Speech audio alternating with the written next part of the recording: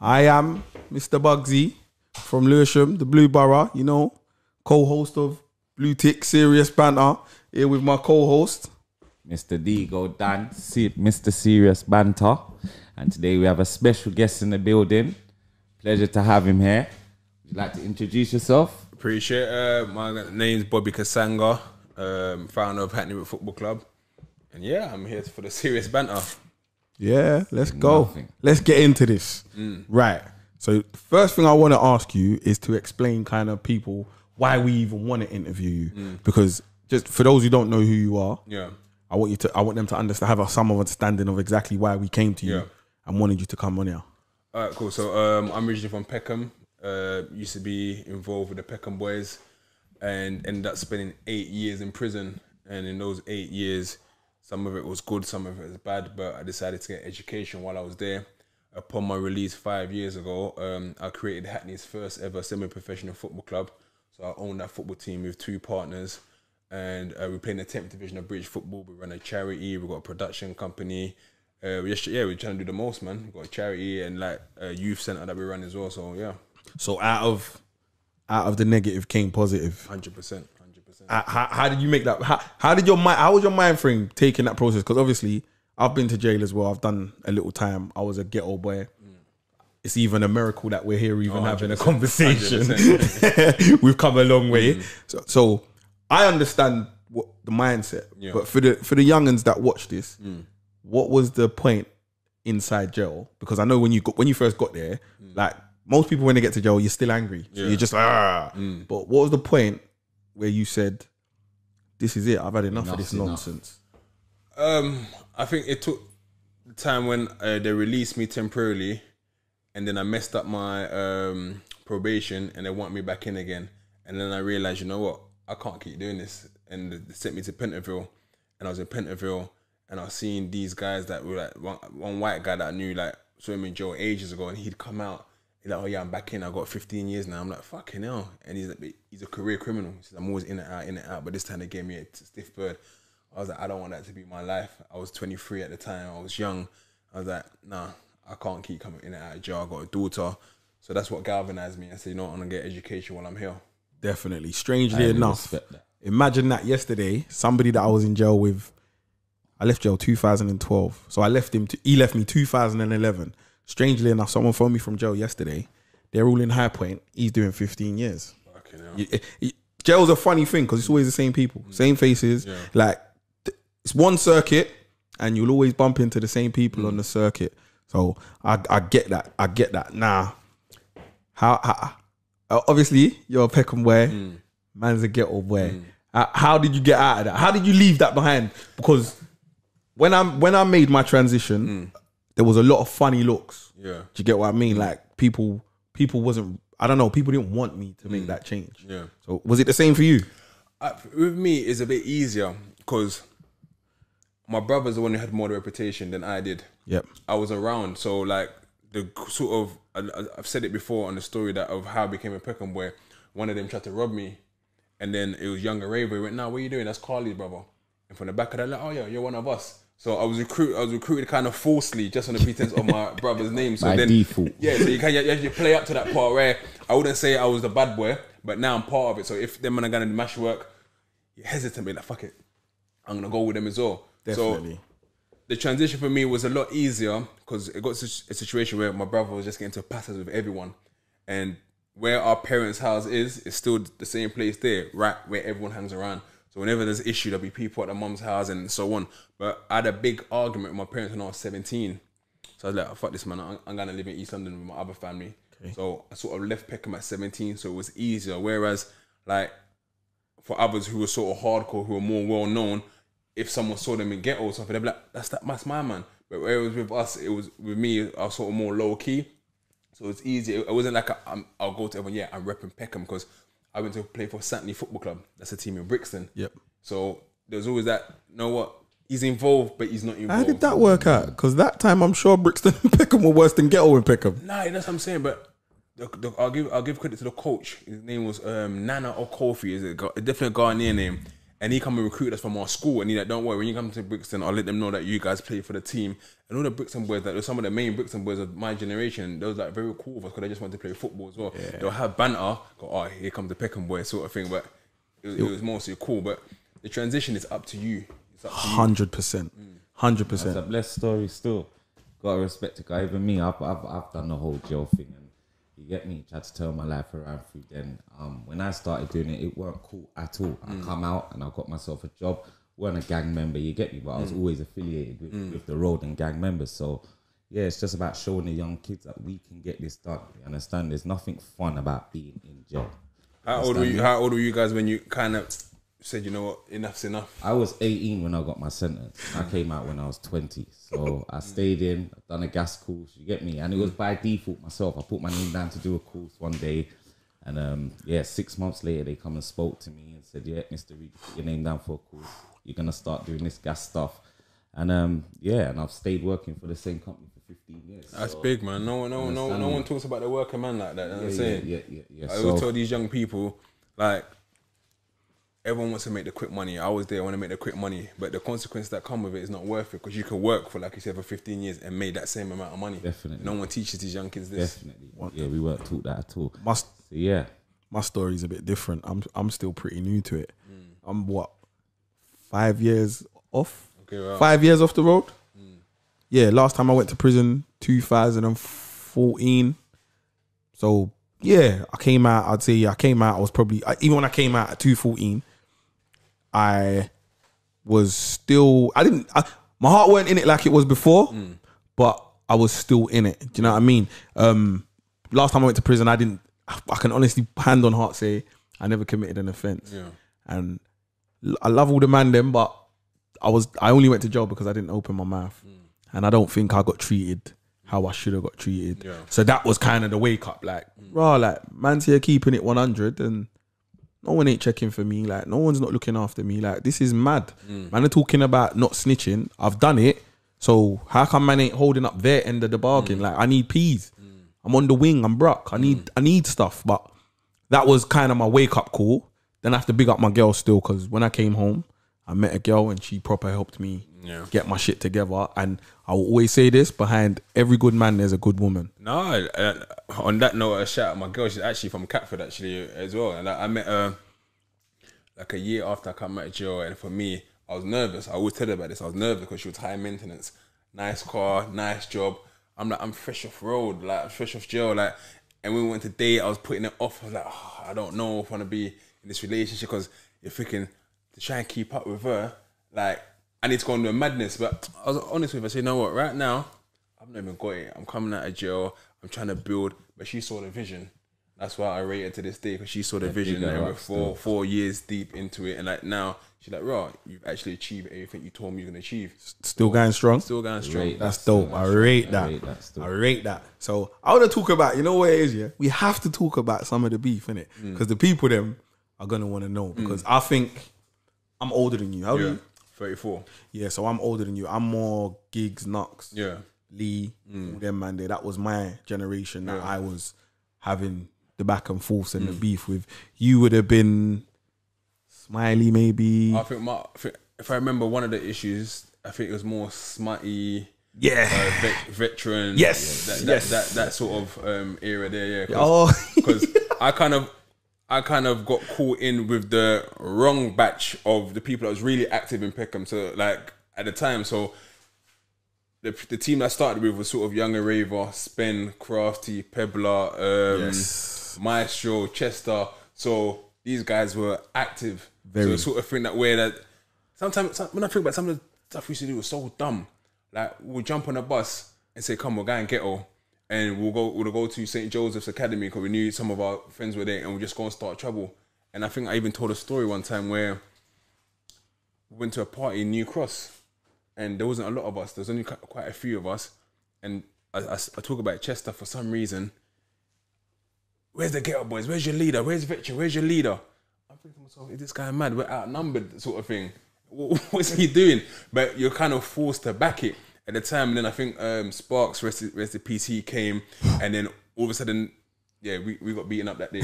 we got beaten up that day. Yeah. everyone ran, everyone tried to escape. Everything but- changes when he shows up. Yeah. Every everyone turns into Superman when he Yeah, shows up. yeah, Once he shows up, everyone's everyone's good to go. What are you saying, Dan? You're I'm just listening Remember, I wasn't a gang member, so it's nice to air these stories. You never, you never had no interactions with no Peckham mutes No, ever. No, I've had interactions. Cause I come up on a wing of, I come up under a wing of of a couple of the older Peckham boys. You get Mm. me? Shouts are, you know who you are. You get me? And yeah, I just, I just kind of stayed out of it. I was all about money from young though. Mm. You understand me? So the, you see the beef thing, it wasn't really for me. I used to go to St Joseph School, yeah. but what was nice about that is that we had people from every end. You Mm. get me? Triads, Brixton Youths, Peckham boys, and we all got on Mm. in school. So you get me? Out of school, I never really had no issues. The only know what's- problems I really had issues with was uh Woolwich boys. You understand me? Hey, Growing up. You know what's mad about St. Joseph's, yeah? Mm. I'm not gonna say their names, but there was two guys. No. One went Northbrook, one went St. Joseph's, yeah? You know, for the whole time they was at school, they were so cool with us. Mm. You see the moment they left St. Joseph's. Mm. Yeah, yeah, you see yeah, them. yeah. You see the day I saw. I, I didn't even know we had problems. I mm. remember I was going past on the bus and the man was just ice grilling me for an hour. Mm. I'm saying, "Huh, what's going on here? We was alright a week ago. What's happened?" You know it is, and that that is so true in regards to all these kids who are in school now. Because where I live now, uh, well, I live in, in Woolwich, but we've got a spot in Hackney as well, where it is that, for example, London Fields and and Homerton, two areas close to each other. So the kids who go to schools from year seven to year eleven, they're all friends. Soon as year 11 is done, they're going to college. It's beef. You think Yeah, you guys were mad. friends for all these years, and they just have these And if you was to ask them why they're beefing, a lot of them they could not tell you the reason Mm. why this beef has ever started. They're just literally riding a bandwagon. All right, then you want me to give you the you want me to give you the funniest story about me? I'm originally from Birmingham. I moved from Birmingham when I was three years old. I moved to Camden Estate. Okay, right, Peckham. Yeah, my brothers, my brothers are older Peckham boy, Devil Okay. You might have heard of him. He's like MPB, Okay, Peckham yeah, boy yeah. days. So I moved to Camden Estate. I lived on Camden Estate, and I moved Lewisham Way, Ghetto Brockley sides when I was what nine, Mm. ten. So I'm kind of well traveled. I went, I went Oliver Goldsmiths. Okay. So I went school with a lot of a lot of Peckham youths, and exactly what you're saying. I don't even want to say it was a peer pressure thing, but it kind of was because I kind of fell into where I was. It wasn't. I didn't go out there saying I'm gonna be a gang member or I'm a bad man or I fell into it. Mm. And obviously, if a lot of people won't know about North Peckham back then, but North Peckham was a big gang hub. As a, as a child, the first like my first ever interaction with gang stuff was North Peckham boys versus Ghetto boys, and I mm. saw a man get stabbed on Frontline opposite Warwick Park. I think I must have been eight or nine, and I and like that's my first ever remember of gang stuff. Like, mm. oh, I remember my brother and his friends like, yeah, you man are on the estate, whatever, North MPB, whatever, whatever. Mm. But my first actual like seeing another gang and another gang have beef, I was like nine or ten, and from that point, it was kind of normalized. Like I kind of got as as time went on, you become desensitized to things. And a lot of kids they they fall into this gang life, innit? It all depends where you live, who you know. Do you understand? You gotta realize people when you're young, people just want to be a part of something. It's that one big family. Do you understand me? But I say that because I grew up in a Gloucester estate, and then when I knocked down that whole estate, we moved to the new place where my parents live now. And the other day, um, I was filming around there, and we lived in uh, number twenty-two. But for some reason, I don't know what happened, what- what God was doing that day. But that day I went there, like everyone grew up in the area were there visiting for some reason, or were just there that day. And I'm like, raw. I see a guy called Shinna who lived number thirty-four. Uh, Javen who lived in twenty-five, and rest in peace, his brother Marcus Fraser died. But like all these kids we all grew up on the same street, but not everyone turned out bad. Shino went on to go into finance. Javen works in engineering. Uh, Dammy done something else. So it's not necessarily where you grew up. Of course, that, that's a big factor. And what I always say, because when I was in jail, I done criminology and social policy, and it's like all these factors affect you, right? In terms of parents' household income, peer pressure, where you come from, who the people you're around. But ultimately, it's your decision. Definitely. Ultimately, it's always your decision. Definitely. I won't lie. At 13, when I started going house parties with the man them and realizing, yo, man's a little face in here. Like, yo, gal them are feeling, man. Come, man's with gang. was inspirational for me to do more gang stuff. No, 100%. At 13, like, like I'll never say that I'm famous or nothing, but I've definitely been blue famous, where I've been I've been a very well known man in my area, and I got a bit of respect for whatever work, whatever idiot little piece of work I felt like I was putting in at the time that was big and dope. I got a little ratings for it, and yeah, that did in that did push me to want it more. But also, the OGs that were around me at the time, what they were feeding me was was crazy stuff in it. Because I had like above me, you will say there's Sparks, the Twins, They weren't showing you. Zags. Yeah, man. No one ever, sh- love, no one ever showed man nothing. No one ever showed man nothing good, man. Like if I come from an era before guns and knives, really. Like so, when we grew up, it was it was fists. no, it was really about who could fight. Like Mm. it was definitely like who can rock, Mm. can man rock. That was man's word. Like I'll bang you up. It weren't really I'm gonna bun you. Mm. It was like you buck a man, I'll bang you up. I'll bust your head.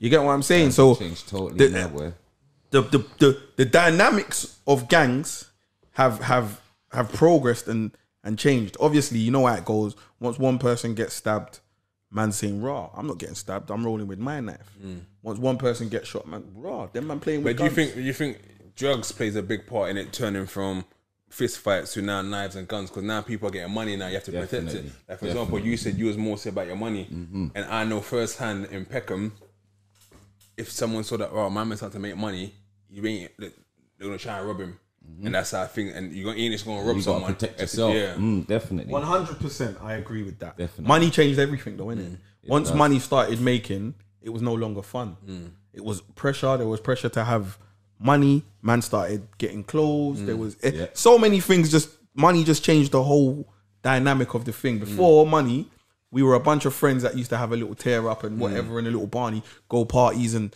bully people, but it wasn't as serious as it got Yeah. when money got into it. Mm. You get what I'm saying? And that go, I don't understand that because Peckham Boys never affected our money. Yeah. So I don't understand how it got more serious with you lot mm. when money came into play. I think at the same time, there's still that whole reputation of this is our ends and that's their ends. You have to so it's and the thing is, it's very tribal. It's not always just. Even if you go back to ancestrals and Africa, there was tribes fighting against each other. So it's nothing new in terms of someone being from this area or someone being from, from that area. You see it also in, in regards to some of the working class and middle class footballers. You got the West Ham fans and the Millwall fans. They meet up. It's, it's, it's a pass sort Yep, of thing. So that's yep. always been there. So you're all gonna sort of kind of protect your territory. But I think money definitely starts infecting people within your own area. Yep. That's when the problems. Yeah. That's when the problems become in house. Civil wars. That- yeah. that's Yeah, exactly yeah, the right yeah, word yeah, for yeah, it. yeah. Civil wars. That's when it's like, raw, man's doing better than me. To peg him down. Like my man don't deserve. I put in more work than my man. Mm. Why is he up? Like so, I know that. I know that mentality because Mm. I've been there in it. I can't. I can't say that I haven't done some wrong things in my life that I would never be proud of and show off to people because Mm. that's the reality of the life that we've lived. In it, we come from a come from a bad place. Mm. But you know what? the end of the day, we're here now giving you some good gems. You know, I hope Mm. you lot listen.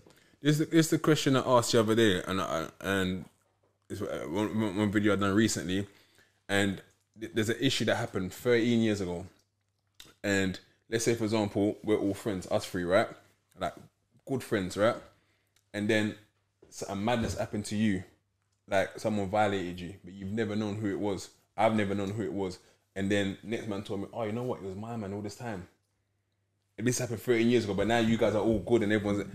What do you what do you do in that position? Because everyone tell me, nah, Bobby, you're a snake. You should tell my man that he was. And I think to myself like, if I go and reopen that whole thing, Yes. and then someone go and do a madness to someone else, It's on and your then back. Mm-hmm. it's on my back. But at the same time, people are telling me you can't just watch them man like that and be cool with. it. So I'm like, bro, you know what? See no evil, hear no evil. Yeah, Let's yeah, move yeah. on. And but, at the same time, I look at from my man and feel like, raw. Yeah, but you know what that is, isn't Mm. it? That's your growth.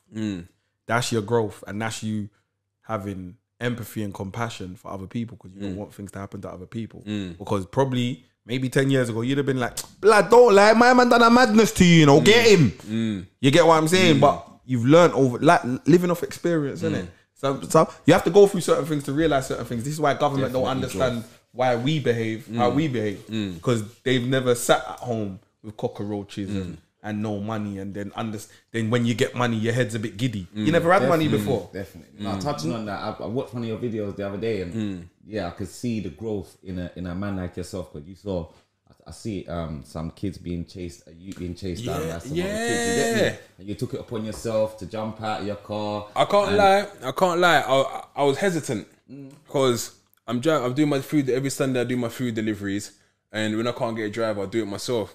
And I'm going through Manor House, and I see first I just see a bunch of teenagers. I'm letting them cross.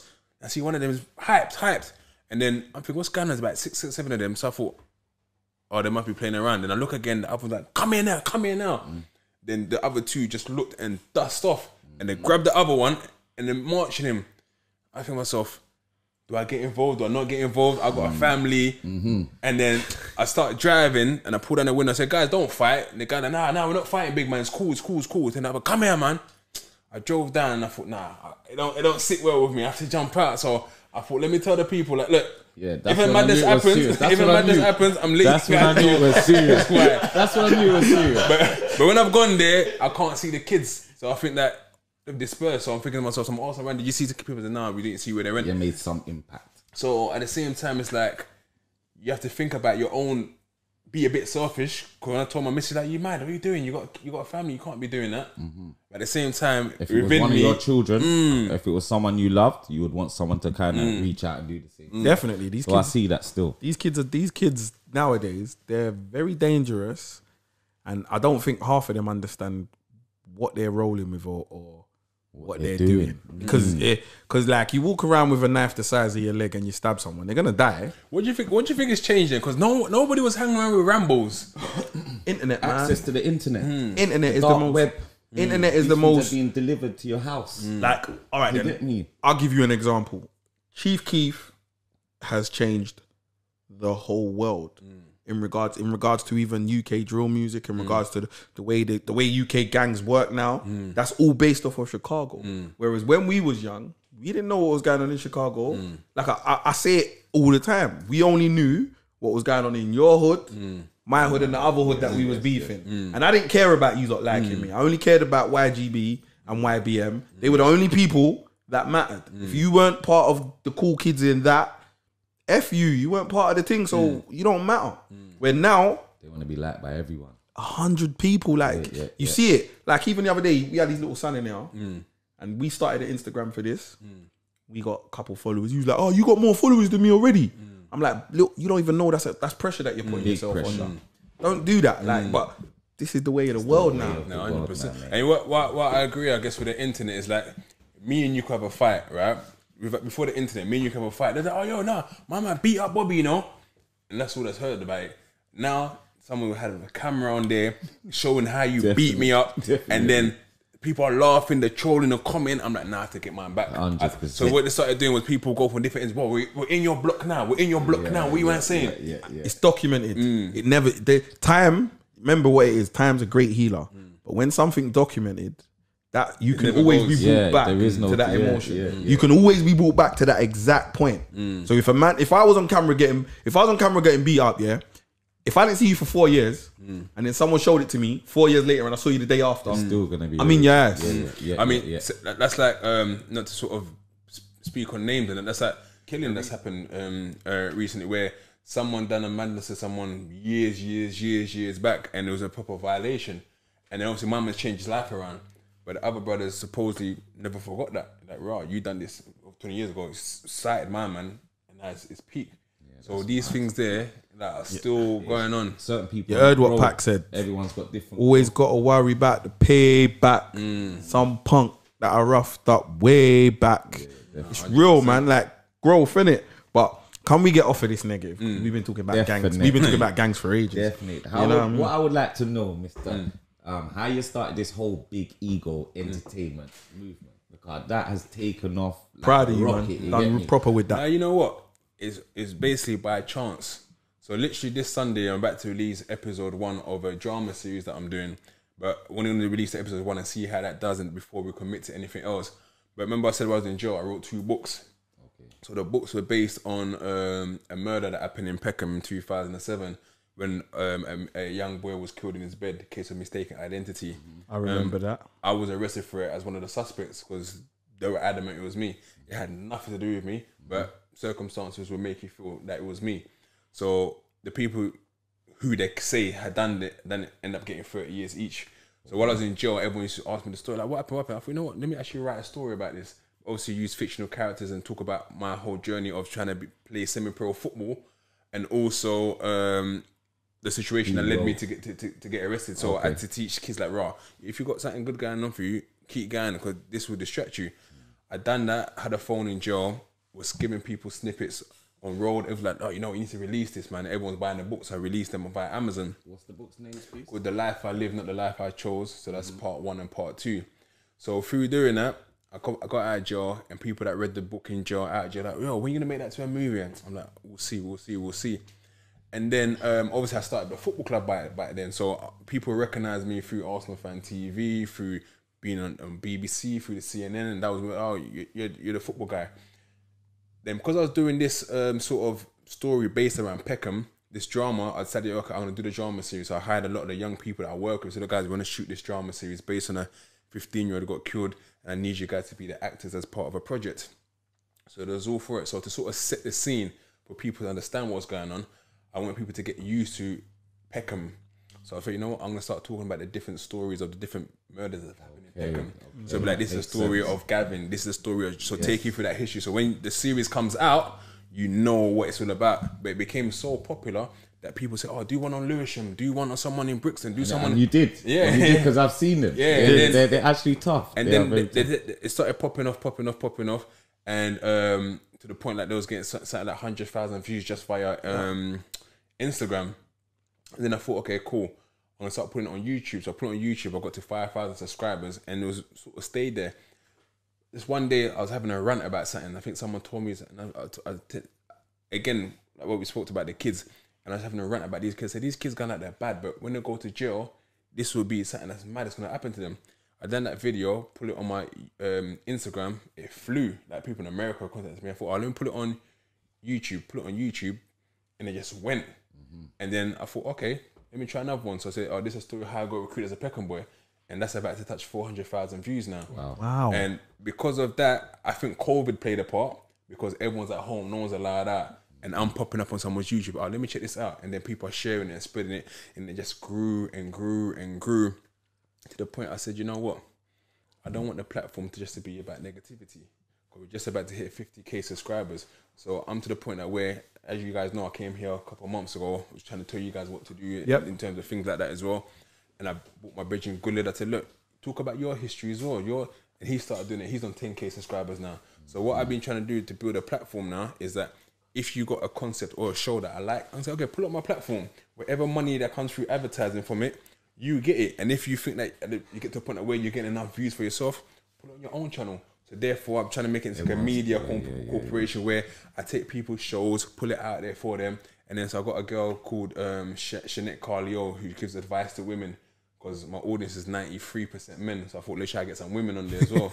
so she's on this, so she's doing her thing. So slowly, slowly trying to build into a little media kind of portfolio where I, I I'm like a BBC basically. I, I put different shows, so I'll get to the point that where I want to start buying the camera equipment, start buying the sound equipment and, and all that as well. So production and yeah, and that's how it works. Yeah, I rate that still. That is a Literally coming power from move. That's big. You see, you see, and that's the main reason why I needed him to come on the show because I want. I, I obviously I'm here, but I haven't achieved anything what, like what he's achieved, and I need everybody to understand that your past doesn't define your future, and everything ultimately comes down to choices.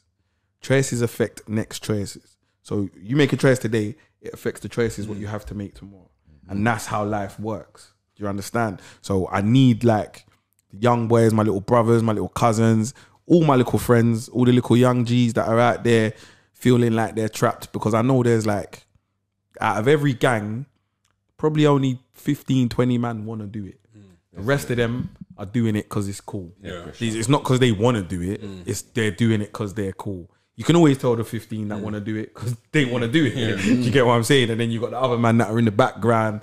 Some man just love it for the girls. Mm. Some man are in it so no one don't trouble them. Mm. Like there's always there's so many different reasons why people do that stuff. And I just wanted to big you up on that. I appreciate it, man. And what I, I let people know is that I've come out of jail to own a football club, but I've done it without even having money in the And first I want place. to. That's what I want to touch on. Mm. How what what made you make that decision that you wanted to do that? Obviously, I know you was a part of semi Yeah. football growing up, but How? How No. did you pull that off of the ground? How? Uh, so basically, I play semi pro. So I knew semi pro you can earn anything from like thirty pounds to about two to three bills a week, and have another job on top of that. And I saw some cold footballers in jail. I'm like, bro, you're hard, but they didn't know what semi pro football was at all. I'm like, bro, there's a whole division of football after professional, you know, that will give you good money. So, so I got out of jail, I 28 years old, and I wanted to go and play football again. I'm like, ah, I'm 28, gonna turn 29 soon. I signed for my club, my old club, Corinthian Casuals. They're based in Tolworth and Surrey. I just found that they're trotting and you're going there, you're unfit, you're not really playing matches. I thought, let me look for a local team in and around the Hackney area. I'm doing my research and people like, oh, there's no really no semi-pro team around here. So I just do my fitness in the park one day. I see a bunch of players cold. I'm like, right, where you guys? Some of them have been released by professional clubs and so on. They come there every day just to keep fit for pre-season. I'm like, oh, you man, I'm gonna start a football team. They're looking at me like, you just come out, you just told us to come out, Joe, you're gonna start a football team. I'm like, nah, you're gonna start a football team. I was excited about it. Once you're excited about something and you're passionate about it, you're gonna make it happen. Definitely. So literally, I went home that day. Uh, so I'm gonna call it Hackney Wick FC because my biological mom lived in the Hackney Wick area. Then I put, um, I used the Hackney train station sign as the first sort of logo. And literally, I'll spend about three to four hours every single day searching Hackney FC on, so Hackney Wick on Twitter. So if Dwayne something mentioned Hackney I'll follow him. If someone's bio said I live in Hackney I'll follow him. Then I'll private message them say Hackney FC coming soon. So straight away, because they got affiliation to Hackney Wick FC, straight away they'll follow back. Oh, we got a local football team That's ourselves. real clever, you know. So from the back, I did that. Spent three hours every single day. It's jarring to the point that where it built up quite a following. And then some lady said, "Oh, I'm from Hackney Wick. Um, I'm a brand designer. I want to design your badge for you." So thinking strategically, I'm a black man just come out of jail. She's a middle class white woman. I said, "Look," I told her my situation. I said, "Would you like to come our, our chairwoman?" She's like, "Yeah, 100." percent So she came became my chairwoman, I rate and that. through that, it gave me sort of an angle to meet businesses. But every player that played for the team, when I started promoting it, I said, "Look, you have to go out and actually volunteer." Because if I want a favor from the the the what do you call it, the people that live in the area, if I want you to come to mm. our matches, the community to come to our matches, they have to be feel some sort of affiliation to us. Mm-hmm. So I said, okay, we're gonna volunteer. So we put look, if you guys are looking for young men to come and help you out in any, so we bare people started contacting, oh look, come to this event, come to that event. So we'll do the Run Hackney Marathon where we're giving out waters, we're going to the local cemetery to help do stuff. Everywhere was going. So people are saying, oh, who's this guy that's come out of jail and he's gathering these young black people? So straight away, then the local newspaper started featuring me. Once the local newspaper started featuring, there's someone else who will see it. A company called Copa90 came and said, um, this was before they even got bought out. They've been, I think they've been bought out by Universal. They said, oh, look, we want to feature you. So they done an advert with me and Hyundai. When that came about, London Live interviewed me, and through the back of that, I could now get sponsorship. I told people, look, we're on TV, you know, we're gonna be on TV. Can we get local little sponsorship? So people give you two hundred pound there, five hundred pound there. Then there's a company, the Loweston Pub, a guy called Declan Perkins, ex pro player. He sponsored our first kits, so he bought all of our kits for us. At the same time, we still didn't have money. Literally, I would go out with buckets, all the bare charity buckets, and literally go outside of a Tesco's. We'll be there from 9 a.m. in the morning till 3 p.m. Literally, do you want to support our local football club? Some people look at me, yo, what are you doing? Can I just say one thing? please? Mm. I want everybody to hear this. Success is a byproduct of hard work. Mm. Definitely, And bruv. that's what you're hearing right now. Success never came before the hard work. The hard work came then the mm. success. Carry on. I just needed I just needed to say that. I just needed to say That's that. cool. Um, yeah, so we'll literally stand outside day to day, and one person will come back, give you a pound. Next person will come, give you five pound. If a thousand people go past, give you a pound. That's a thousand pound. With that, when we started making that, was like, "Alright, cool. Put that in the bank account. Go and buy kits. Go and buy uh, training equipment. Go and buy footballs. Register to the league. So I was very on the I, I could see the rise of women's football as well. I'm like, we can't just do men's football without women's football. So we start offering free women's football training. So I get the player, look, we're gonna do free women's coaching. So you started getting a lot of the white middle class women coming to the because Hackney was gentrified. So mm-hmm. we started to get a lot of white middle class women wanting to play football, learn how to play. We'll come and get them free sessions. So then that become Hackney Wick FC women's team. And once you start having that sort of backing and people seeing you, they always got contacts with different people for their own companies. Definitely. And then from that, So do you have a women's team then, yeah? yeah, we've got women's team, Oh, men's up. Team, and then through the back of that, Nike came and said, "Look, we love what you're doing." And it, it- this was this wasn't even Nike UK. This is Nike in the US. They said, "Like, Rob, we've been hearing about what you're doing. We want to come and support." So there's even a little bit of tension between the US and UK team at the beginning because UK team like, why, why no one told us about this? So they came and desi- got all of our youth in the youth center to design a whole kit for us. Sold out worldwide within minutes. Like everything was gone. Bap, bap, bap. So we're about to do a, Power a new moves. kit. About to do a I hope you're kit. listening to this. So a new kit's coming out within the next couple of weeks with Gaffer, who are like a big um, media company who are also now one of our sponsors. And even before that, when I got out of jail, you know, when- you you, you, make money and all of a sudden you ain't got money, there's that, there's that bit of shame and a bit of embarrassment. You come out of jail and you think, oh, I don't- want to go and work at, McDonald's or at Tesco, even though there's no shame in that. I say, you know what, I want to go and do a night shift. And this this is where this is where the, it's about how you apply yourself. I was doing a night shift at a bagel factory in Hackney Wick. So every night I finish training, I'll go and do work at a bagel factory till six o'clock in the morning. I found out a company called H Group were buying the the, the, the, the bagel company to build property on it. I sent an email to this might be like one o'clock in the morning. I sent an email to the CEO of H Group. I found cause normally you don't find these people's you don't find the, the chief executive uh, Contact email. details, yeah. I done my research. I found these emails. Sent him to look. I use this job to fund my football club, and I hear you're buying it. I just want to know would you want to sponsor the football team? He told his secretary to to, to um, email me to set up a meeting. They had offices in Shoreditch. I went over there. I told them what I was doing. He's like, "Ah, cool, you don't have to work there no more. I'm just gonna give you money every single month to run your football club. You just run your football club, and I'll give you money every single month. So he put me on that. Then what he started seeing, wait a minute, this guy's always on TV. He like, well, wait a minute, he's on BBC. I see my ITV. And they had a bit of bad press. They had some bad press over some another business that you had. So they must have said, look, we want you to help us create a charity. And what should we name it? So I was like, oh, our nickname is the Wickers. So I'm to name it the Wickers Charity. So we named it the Wickers Charity. They put me on 28k a year salary. So from coming out of jail, all of a sudden now I'm earning 28k a year. But I ended up leaving the company because of other issues. Because I just thought that they were trying to do too much over my football club, where I didn't think I could have a say. But like, thank you, but no, thank you. One of the things that he said to me, I said, you can't remember. You have to always remember one thing: you're a man before anything else. There was a thing that where ITV wanted to come and interview me. He's like, oh, you can't wear Hackney Wick FC stuff. You must wear our Wickers charity thing. I'm like, cool, no worries. Done that. The next day, ITV said, oh, come back to the um, come to the studio and do a live thing.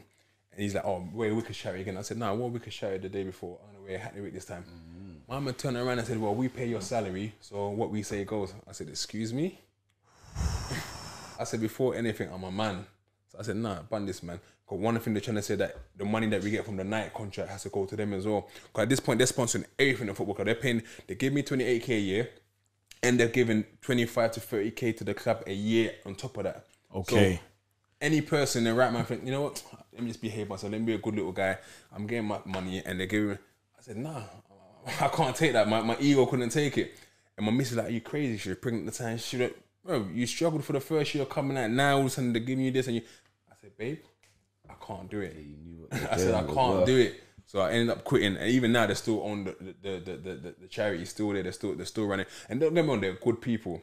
They're good people. I I, I, I had a good time there, but we just couldn't work together. Together. Um, for the back of that, I started just knowing how to sort of create sort of opportunities for myself. So me and my brethren Clamper from Peckham, who's my business partner, we just started realizing, okay, how do we get money from funding? How do we get money from sponsorship that help us continue? That we don't need to rely on anyone. So if today someone says, you know what, there's no money for you, we know we've got other avenues Independence. that, that comes to it. And then, like I said, even in jail, when I was writing my book, someone like, what are you doing, man? You writing a book for? Even though much people enjoyed it.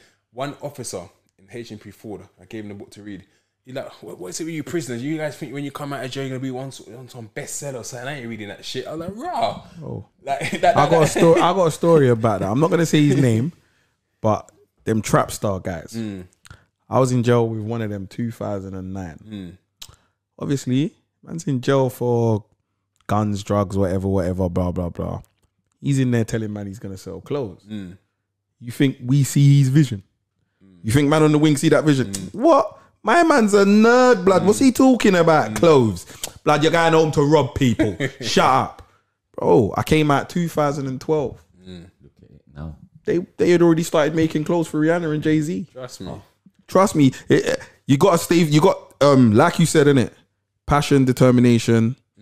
Will, will get you places. Oh, yeah, because when, that- when, that- when that was said to me, I was like, I was like, right, you know, I was so excited about my book. I was so passionate about it. Mama said he, just he just put a whole down on my day because in jail I was very entrepreneurial. I opened up a casino. I had a betting shop. I had a shop. Like I was the go to person for everything, and like everyone would saw me as jovial. Like literally, I'm like, literally, I'll have a table like this, put a green cloth on it in a casino, and blackjack. People are buying chips, and I give people a fifty pound limit. Once you get fifty pound, because fifty pound is quick enough for me to win. When you fifty pound note, you can't play no more. Call your people, money's going to account. And then you've got 10, 15 people doing that all the time. Big so I money, was man. always, and that's what sort of helped me with my daughter while my, while my daughter was out because I couldn't like buy her stuff. So I was sending money to her mom to buy her the bike and buy her this. But when that also said that to me, just put a whole down on my day. So that sort of galvanized me to the point that now I'm represented by an agent, uh, North Bank Talent Management, and I met him by chance because I got invited to do a debate on Channel Five. Okay. And he just said, you know what, I, like, I love your story, so I'm gonna sign you up. My man got the rights of my life story sold to uh, a company called Bad Wolf. And Bad Wolf, um, they make uh, Discovery of Witches for Sky One. They make his Dark Materials for BBC One. All these things go to HBO. So they bought the rights to my story. So they're actually writing it now. It's to be based on a fictional character who's just come out of jail and started their own football team. Oh wow. So You're a blessed kid, mate. so yeah, but it's Yeah, yeah. it's blessed, but it's also hard work. There's no substitution for hard work. No way. That is No way. that is big stuff. Got you into where you, That where is you are now. crazy. That is mad. All right, let me ask you something. There's there's a lot of, a lot of stuff in the media. Yeah, I needed your opinion on this because I needed basically I needed to bring it up on the show. Mm. So the other day, an 18 year old girl was arrested for leaving her daughter in the house, Yeah. and her and her for six days, and her mm. daughter died. Like, how do you do? You have any feelings on that? Do you think that could have been avoided? Because I don't know the whole story behind it, so I don't want to.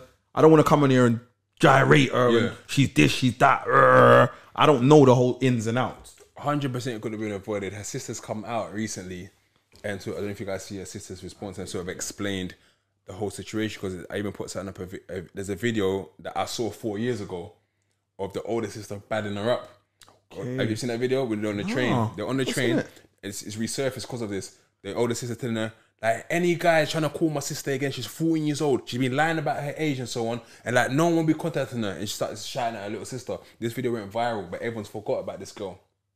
And four years later, we come to find that this 14 year old is not 18, is this girl. Oh, wow. So it's like there's things that was going on there when the sister explained that, you know what, from age 14, whatever, she was running at home all the time, gonna stay elsewhere for two weeks, gonna stay here for one week. Her mom was at the end of her tether. Even when she said she caught on the train at times because she went to a house party, found out where the house party was and took her because the see sister was lying still. about her age.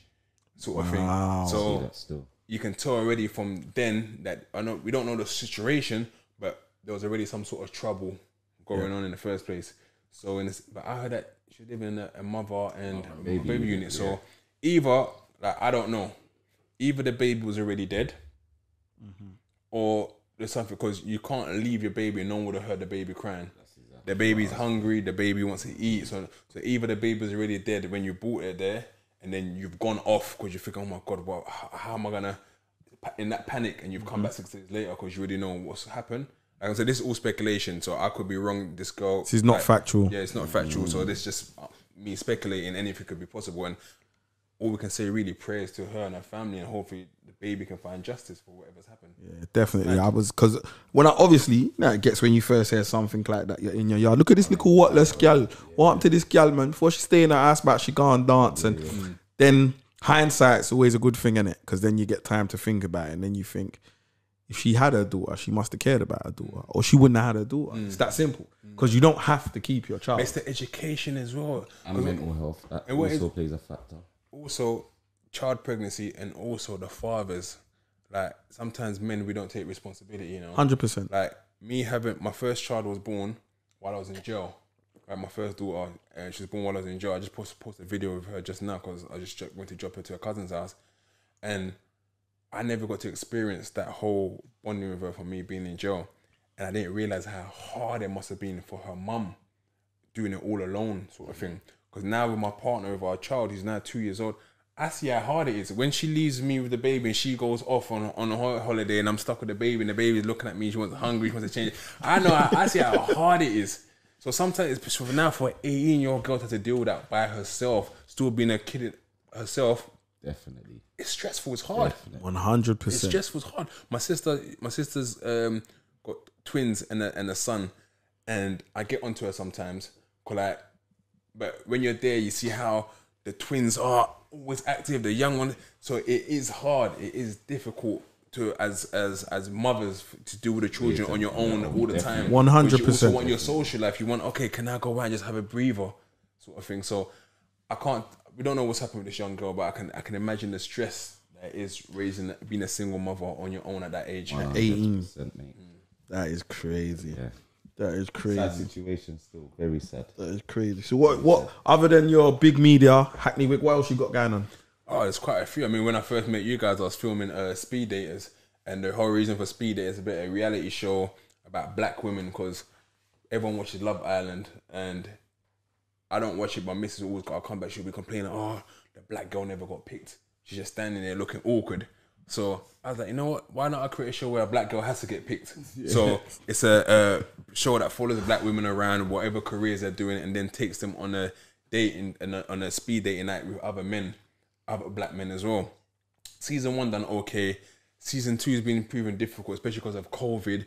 So I just mm-hmm. messaged the girls literally about an hour ago. So you know what?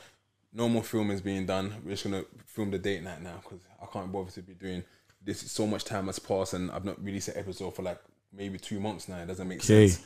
And then uh, Younger TV, they're based on Sky.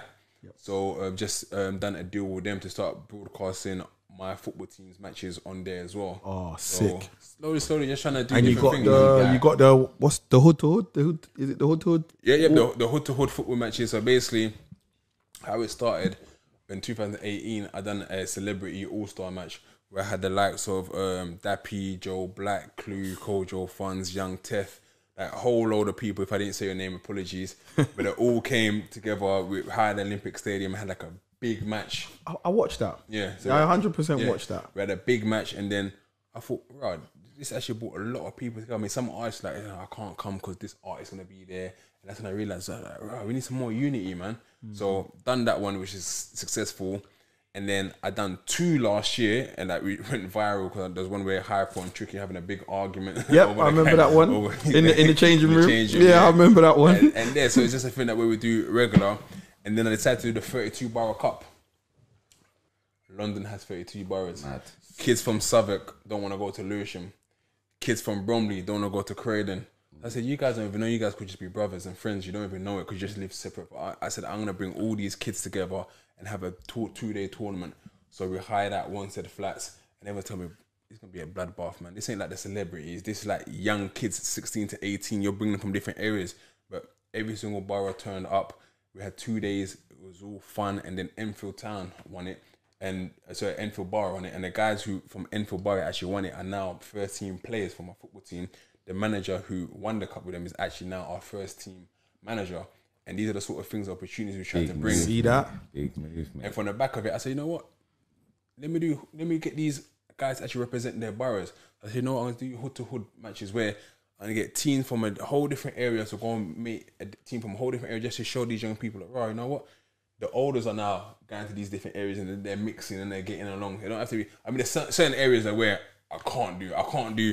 Homerton versus London volatile. Field. Definitely. I can't It's can't gonna work. Can't It won't work. It just I can't do Church Road and Stonebridge. Yeah, it's not gonna happen. there's- There's certain ones I can't, but I want to make sure that I can do different ones just to show people like, right, you know what, we can get along. We gotta get a Lewis and Peckham. Nah, in Lew- you. yeah, Lewis and Peckham. I think yeah, that's the next one. That we have to. We have Lewis to. I would. Peckham. I would. Even if I don't know if I can still play. I don't know if I get into the first eleven.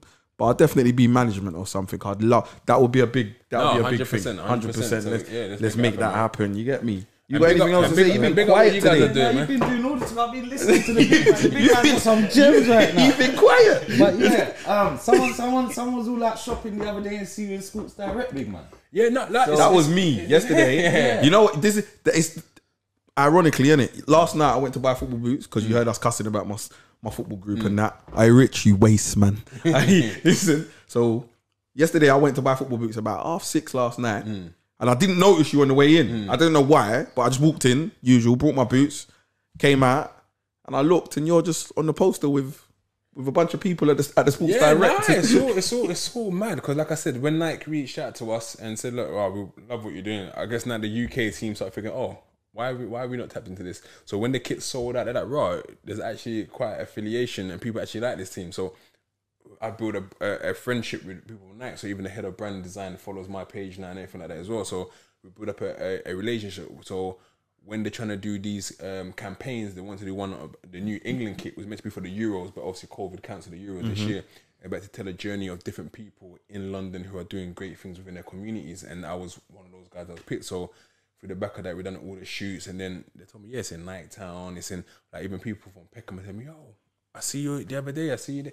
And even not even that one. Like even in prisons, people send us my posters in prisons where it just shows. This was like happened like two years ago, where it just shows the transition of someone that's come out of jail Full and circle. changed their life quickly. Because I think that's been the biggest thing. That's seen how quickly I've done it. Mm-hmm. Don't get me wrong. There's times where you're stressed. There's times you think, "Raw, I could just go and tick a box, or I could just go and." but it's not worth it, bro. It's not worth it bro. because you need to have willpower. You need to understand. Look at the consequence. Okay, I can take this box and go and flip it and make food money from it now. How long is that gonna last? How long is that gonna last? Flip another box. And then the consequences that comes with it, then I'm back in jail. And I say to myself, no. I tell my mister be times where, and I think sometimes you have to be honest as well. I think as men, we struggle to be honest with uh, about our finances and stuff. I tell if, my, if if this month's looking shaky, I'll be, babe, this month is looking shaky, you know. Male ego and pride. Yeah, this this month's looking shaky, and she will go. She'll be pissed. Oh, what you mean? I'm like, look, this is. But what what, what, what can she do? She understands because when you work for yourself, that's completely different. Mm-hmm. But there's so much people make excuses like, oh, you know what, and they'll start cussing off their baby mom and not see their own kids now because of pride and ego. She's calling you and say, look, the baby needs this, the baby needs that, or the kids need this, and because of your own ego. You're gonna start arguing with her and then not see your kids intentionally because you don't want to. go and say, "Look, I've not got it. I can still take the kids out to go to the park, but mm. men don't want to do that because of the ego. Because you maybe used to have money mm. back in the day. Times have changed. Times have changed. I tell everyone all been- the time. I've been that guy. Like when I mm. like when I say to you, when I 2016, end of 2016, and I'm not ashamed to say this, my first job. I went to Sainsbury's for Christmas and was doing nighttime work. So that was that was that struggle. And it's like what you say, things happen by things I don't know. God God's always there and he's always got a plan. And I always say this, I'm one of his favorites because I was working in Sainsbury's and when I started that job, it wasn't it wasn't nothing great. I was making a little money, but I didn't have I was working nights. So daytime I'm sleeping and I'm working nights. I don't really need too much. So I was kind of content. So I tried to I tried to get a permanent job and that was a Christmas thing. They said no. That was January. Then about three days after they turned me down, I was with one of my little cousins. His mum phoned him and said, "Ah, there's a gas engineering course. Hmm. Do you want to do it?" But I was just I was just with him and just hmm. managed to hear the phone call. Hmm. So I was like, "Yo, how long's the course?" She was like six to eight months. I was like, "What? Six to eight months to be an engineer?" She was like, "Yeah." I said, "Look, I'm doing it. I'm I'm doing this. Sign me up." So ten of us, ten of us went down there to sign up. Um, I was the only one that finished. The only one out of the ten of us. My my cousin who started it with me, he's in jail now. Um, other people dropped off. couple other people went to jail. Halfway through that course, uh, my my tutor kind of took a shine to me. Like he just, I don't know if it was, I don't know if it was my determination or whatever. He took a shine to me. There was interviews for a job going. He said to me, "Go for the interview." me being me, coming from the road, bro, I'm not ready for that. Are you nuts? I ain't even finished the course. Like, I'm not on that. Nathan, Nathan, go and do it. You're ready. I'm telling you, you're ready. He told me to go home, research certain things, go to the interview. I've never been in an interview. So I've gone there, I've researched what he's told me. I've gone to this interview. I was so petrified. Petrified. Like, I don't like like something like I was gonna lose if I didn't get it. And you know what? I might have lost my head if I didn't get it. Do you get what I mean? So it was kind of like it was kind of a it was a desperate situation. You get me?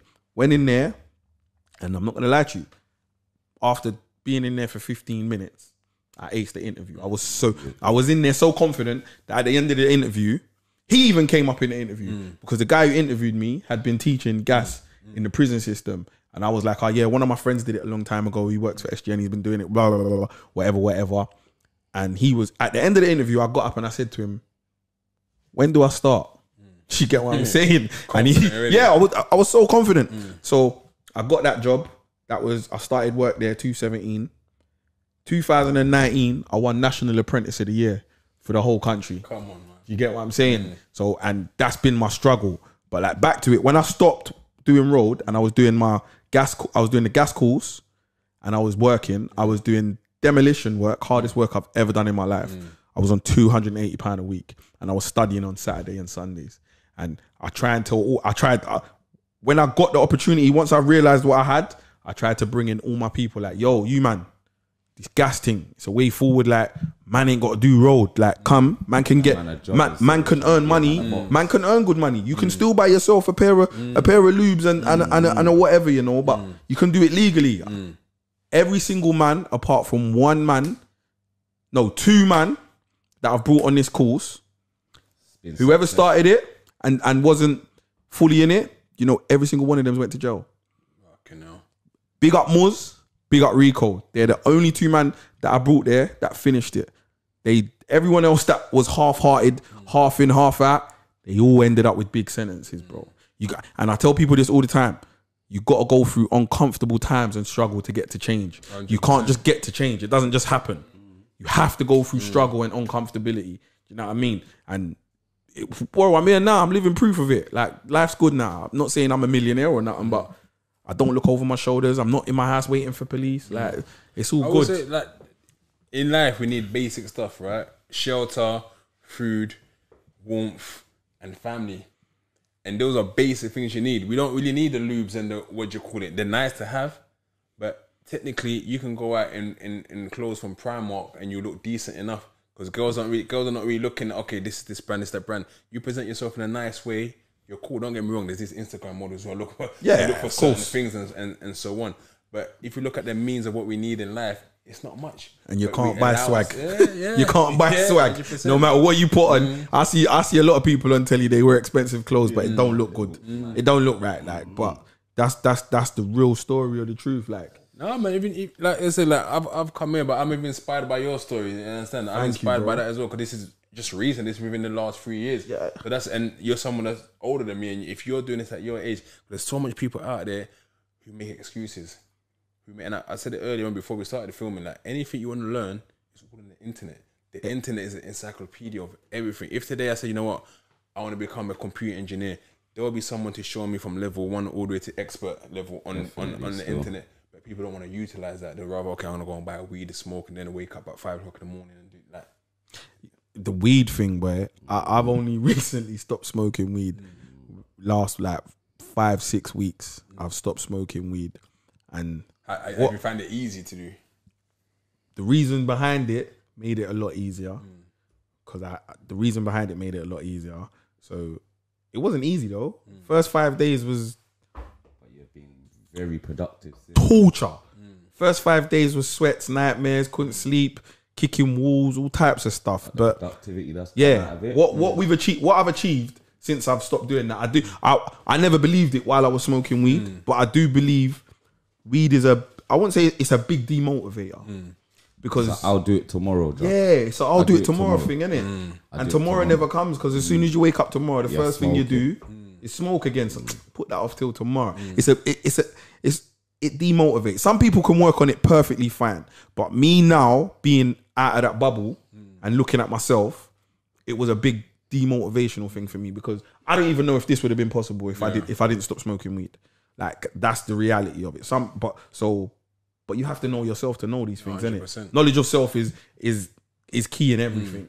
If you don't if you don't know, you can't do better. Do you understand what I'm saying? So it was a big thing for me, man.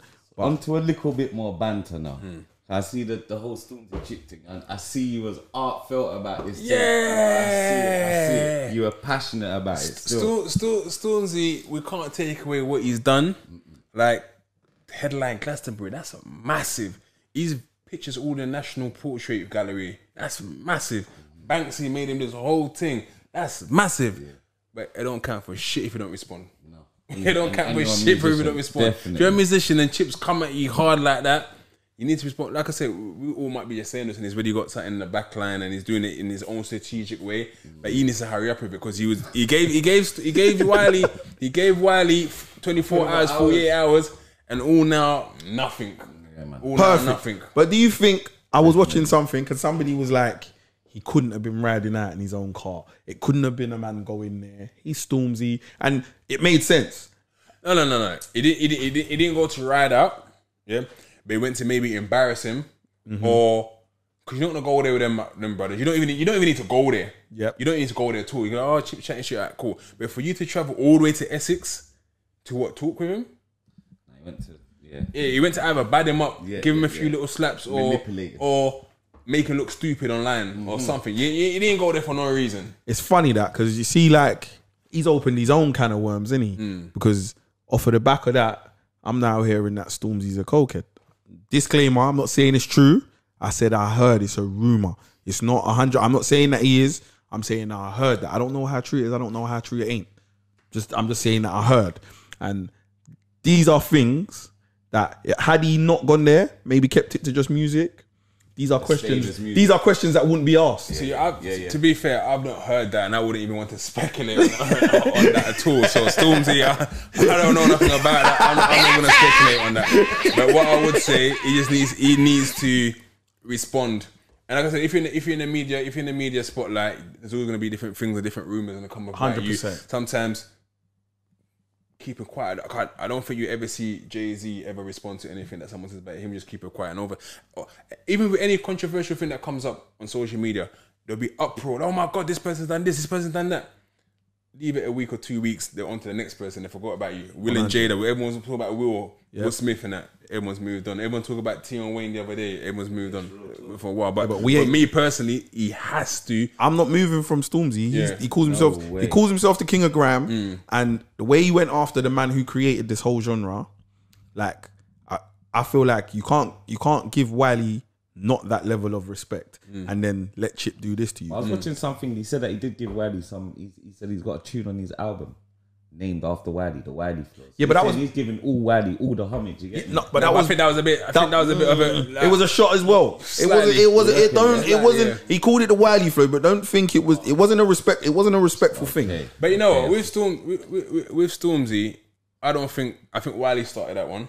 100%. I don't think Stormzy ever because it's like the professional footballers and even like the the the old school rappers and so, like right now, the money professional footballers get now compared to what the old professional footballer you always hear them cussing. Oh, look at these kids, man! Ah, they're earning so much, doing so much. So from Wiley's point of view, you can see like, raw. I paved the way for this thing. I didn't bloody go and do Glastonbury. I didn't. Why does my man just come out of the blue and all of a sudden he's doing this? nah, that's not. So I can see that from Wiley's point of view. There's hate in there. Bit- you, you might like the kid, but there's, there's, there's, Definitely. there's definitely a bit of hate in there. And after he's seen this and see, oh, now Storms are doing this again. Storms are doing this again. So he probably popped off now. Fuck this kid. And then Storms like, wait, wait a minute. Like, I've always ever paid you respect. What's going on? So at the end of the day, he had his backup and said whatever he had to say to Wiley. So uh, as much as Wiley, we respect him for what he's done and achieved. He was moving a little bit salty, and Stormzy checked him for that being that salty. But at the same time, Wiley's a salty guy though, isn't he? He but at the same like time, that. Stormzy has to reply to Chip. I think even with Chip, it's kind of similar where he's looking at like, raw. I got flows for days. I got it. And remember, Chip had his turn. You know, Chip had his. He was doing songs with Pizza Boy and all them things. way be- like we all meet me on that way before Stormzy was when I was known. when I was when I was in jail, Chip, um, Tinchy Stryder, they Mm. were they were the big man. In, in for me, imagine, so I went to jail two thousand and eight. Yeah. Mm, there was a little scene, but it wasn't Yeah, nothing that- like Tinchy Stryder was number one in 2009 and all that. right. So mm. when I've got into jail and I've mm. really got into my sentence because they gave me a seven and a half at that time, the music, the English music scene exploded while I was in jail. I left what what was what one was it? Um, talking the hardest. That was like that summer when talking the hardest was the maddest tune. That was the summer. I, that was the summer I went to jail. Same, 2007, I think. 2008. I went. I went maybe. then, yeah. yeah. I went. Yeah, I went 2008.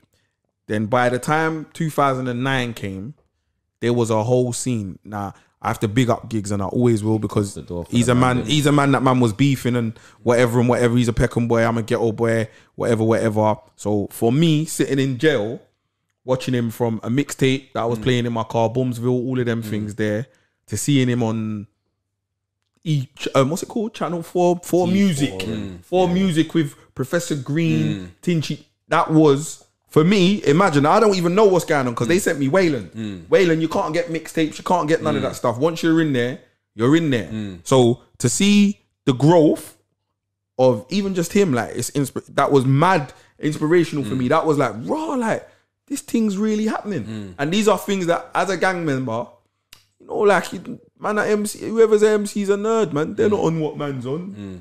But man saw a vision and man pushed it, bro.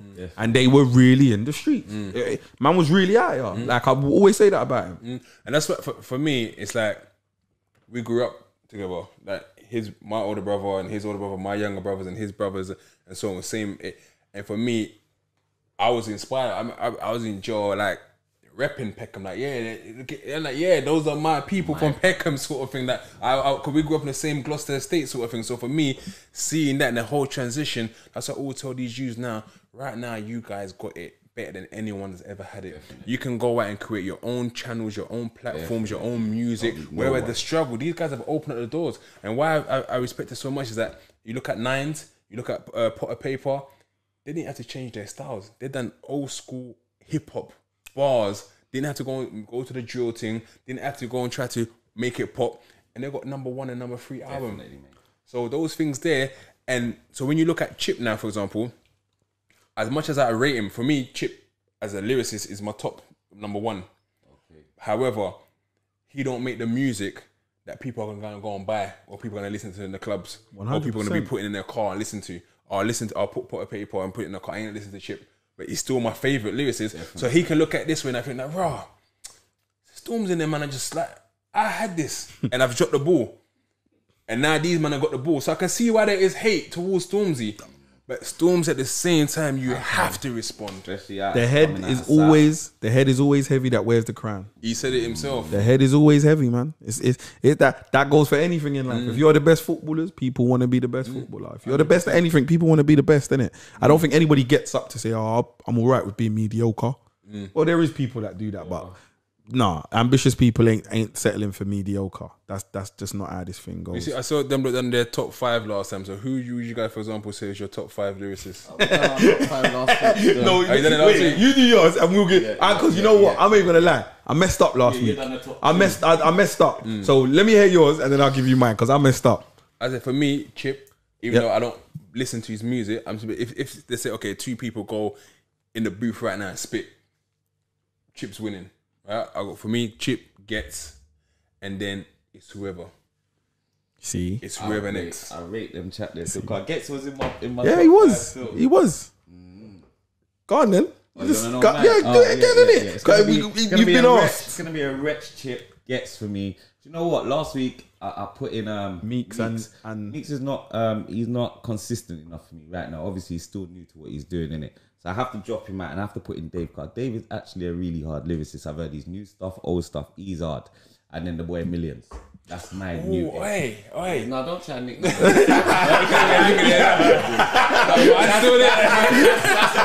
Hey, no, you know, you know, with uh, M1llionz, yeah, he's just different with it, you know. Very. He just, you know what? You just gave me an idea because yeah, you have to do that. Forget that the old school people, like the new wave. He's because because he's so lyrical with it and does it in a fun way. Like you don't Bro. know what school of language this boy went to. Mm. Lager. But he's mm. hard with it. He, listen, he's anyway. You know the links already. That's my mm. people's peoples from Birmingham and all of that and all of anyway, that. can we end um, yours, please? All right, cool. Wretch, Chip,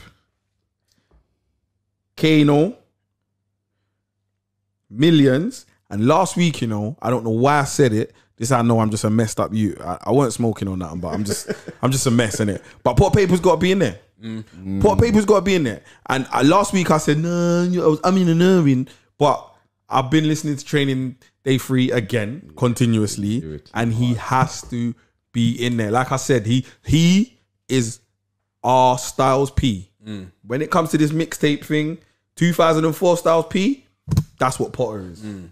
You get what I'm saying? That's that's where I put Potter. I don't think anybody I don't think anybody's gonna be able to do the raw rugged stuff the way Potter does it. Mm. That's how I feel about about it. it? Been banging training day free.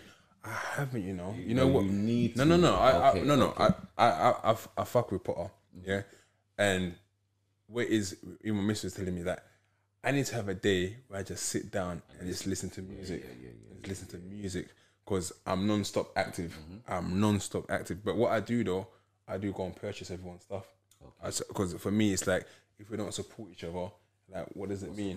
Because people are supporting me buying my football kits and doing. So whenever I kind of like, yeah, I'm gonna go and buy man C. uh, You don't buy CDs no more. I'm gonna go and stream my man's thing. I'm gonna go so in those things, but I've not had a chance to actually listen to anything new for ages. Whatever comes up on the socials and that, I'll go, oh, let me let me go on YouTube quickly and listen to that. At the same time, I actually like when, when the concerts and that are there, I'll go and buy tickets.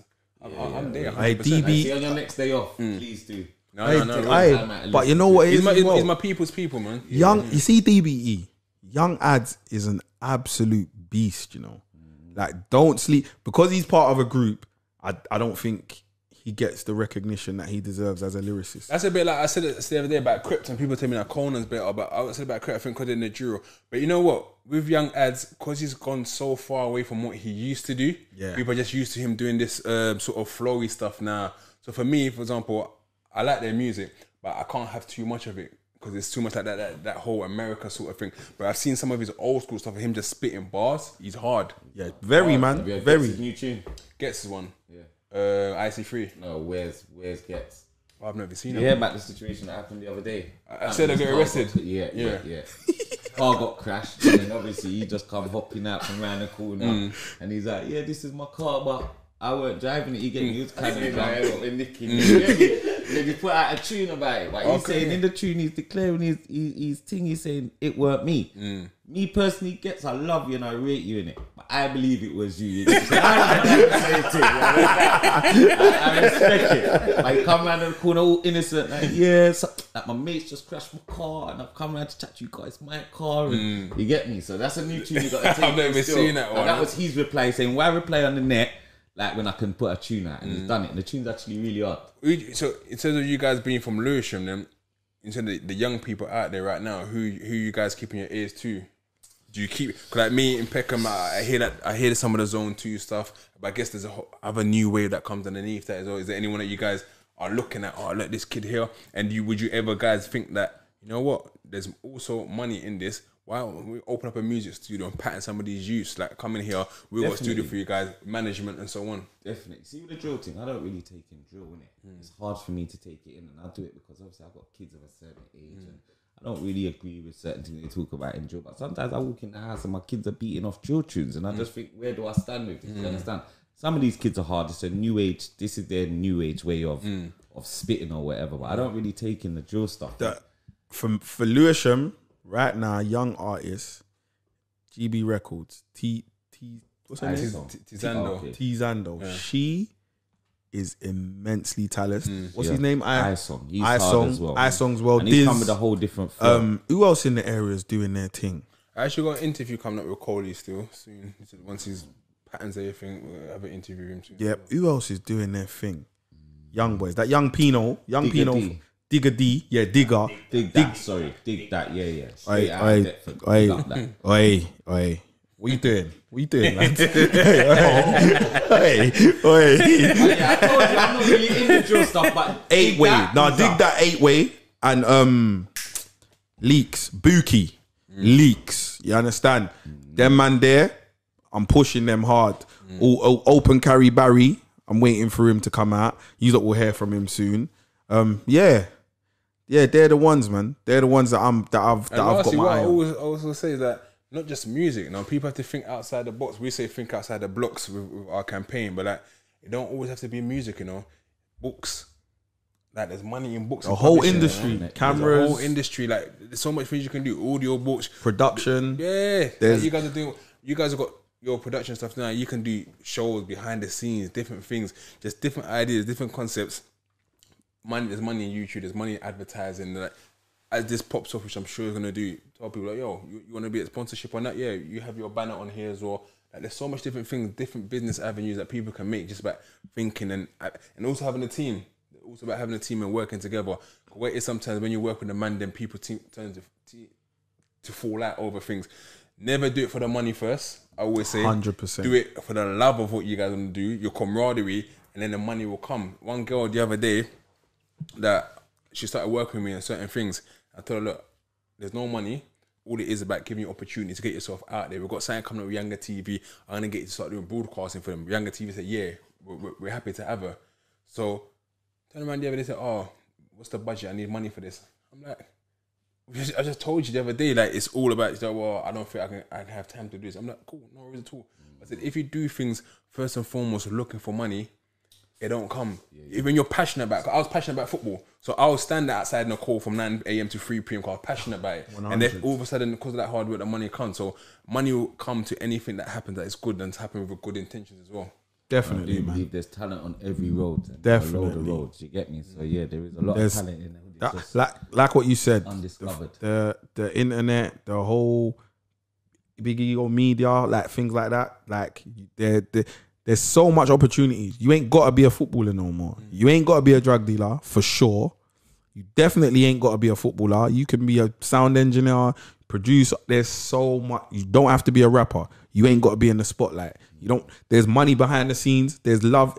Like find some work. Work is only something you're not passionate about. Mm. Something you're passionate about and enjoy is not work. Mm. It's fun. Mm. Do you get what I'm saying? So if you can find your passion and something that you enjoy, you won't. It will never be a chore to get out of bed. You won't get out of bed feeling like you do when you get up to go mm. work. It's, it's a completely different hustle, feeling. Mm. You get what I mean? hustle. Even if you do hustle, hustle to fund your dream, innit? You understand me? And that you live in your dream. You get me? No one wants to be hustling forever. So even if you do have a good hustle, you're out there hustling. Hustle to fund your dream. Put down your hustle and go find something else. and man. that's real. Don't follow this fool. Put down your. Don't follow this brother. everything. Work's a hustle. You get me? You could work to try and fund your dream. You don't want to be One- working one- for someone one for the thing- rest of yeah, your one life, thing innit? they say like it's okay to work for someone because you work nine to five, you work for someone, but don't just work for someone without even putting half an hour into the day trying to work on your own stuff no, as well. definitely. So even if you someone got like else's a dream. portfolio, you write something. Okay, on my diary, this is what I want to do. Half an hour, the next day another half, and the next day another half an hour. By the end of the year, you got a whole book of different things you want to do. You know what? Definitely, you I are the agree with first Peckham boy we've had on our show. Okay. And I have to ask you this question. Mm. How did Blue Story represent Peckham for you? This gonna sound mad. I've not even finished it. Oh, I've not finished it. Busy, and the thing busy, is, busy. Rapman's my guy as well. Cause like this, this, this, this, the crazy thing about it is that, and how much your life can transition. 2019 last year, I got an email. The Prime Minister is inviting you to Downing Street. I was like, what? Like, this is mad. So I just thought on the actual day, I just thought, oh, you're gonna go there.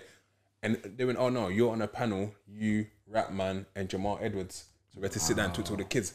So I'm sitting there with these two guys. I'm like, wait, these guys, you done Blue Story, you've got SBTV. I just come out of jail. Like, what they on? They're, they're like, nah, like we want you to be there as well because of what. So it's mad. And I see Rapman a couple of times again. When I see him, um, my sister graduated. I think he had a family member graduating the same day as well. And like from what he's done and sort of transpired and gone on, but I'm hearing a lot of people from Lewisham are not happy with um, Blue Story. I've not. I've st- I st- remember putting it on. Okay, we're gonna watch this, but I was just so tired and knackered in that day. I've not. But you know what? As you said this after training today, me and miss are gonna watch it because she actually because she's from Lewisham and she actually went and watched it twice. I think. So, yeah. I've watched it. I've watched it. Obviously, for me, I lived it in it, so my views would be different. But I wouldn't say that I'm not happy with it. I would say that that's somebody else's perspective of it. It's not my perspective. It's not how I saw it because I obviously I never made the film in it. But that's his perspective. Of it. Big up Everyone, that. everyone's everyone's versions, interactions, and stories are going to be different. Rapman's version and story is different to mine because he's not me. So I'm not not happy with it. I do like it. I, I do think. I, at the same time, I do believe.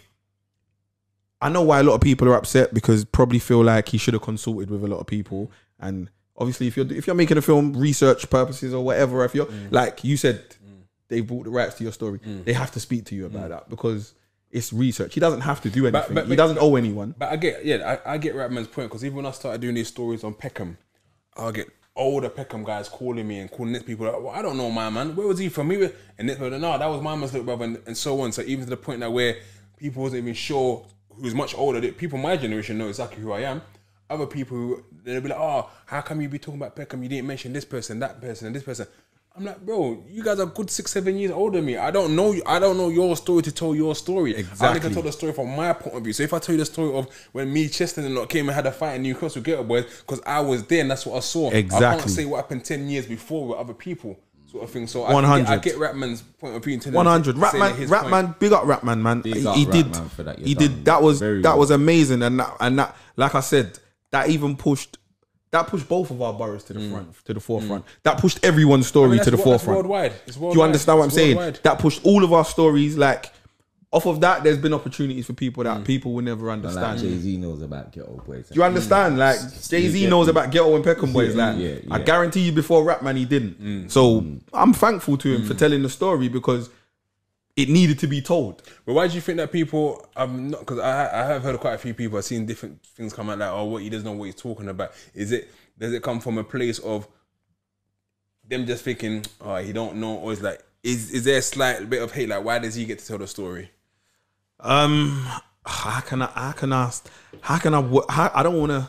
To answer this, you got to sit down with Rapman and see where. he No, but he's asking. from. He's asking. He's asking why people like. not- That's nothing to do with But Rapman. no one knows. What, That's nothing to do with Rapman. No one knows what perspective he was coming at. a lot of a lot of what I've heard. fiction. It could just be a fictionary thing with a little twist. No, it's his. Obviously, it's it's obviously it's his view. It's his story. He wrote it down.